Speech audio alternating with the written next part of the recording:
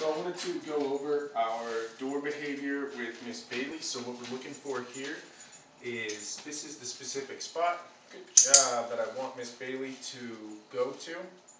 So what I'm going to do is click her as soon as she hits that spot. And then you're welcome to uh, coach her when you're initially working. Bailey, down.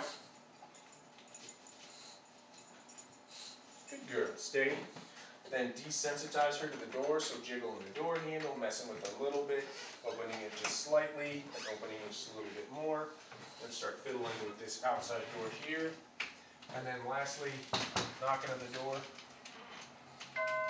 ringing the doorbell, making things crazy for her. So I don't like that. Bailey. Free. Good. So I'm not going to release her until she uh, is fully in a DOWN.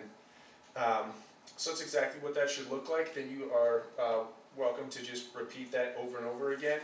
Um, at, at that point, um, when she's doing a good job for you, it can be different in different environments. That's why I just wanted to um, work through one where we explain everything initially.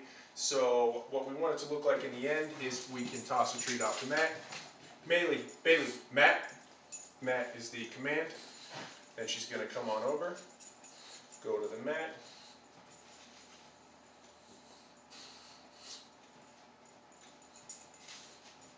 I'll give you it down voluntarily.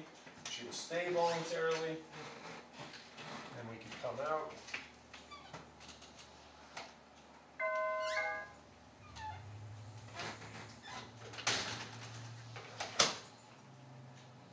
Free. Good girl. And give her a free command. Uh, when done, if she's been able to stay good job in that one spot. Uh, so that's exactly what that should look like. That um, is her door behavior. So that first repetition was working through all the individual steps, how to build up to that, and uh, that last one there is exactly what it should look like. So um, she's doing an excellent job, and uh, again, the command is Mat. She comes on over to her zone, and then hangs out and waits until she is released, and her release command is free. Um, this is a mat that can stay out in a specific area, so you can lay out a mat for her to go over to her specific mat. This is different from relax on a mat, and um, she's done an excellent job.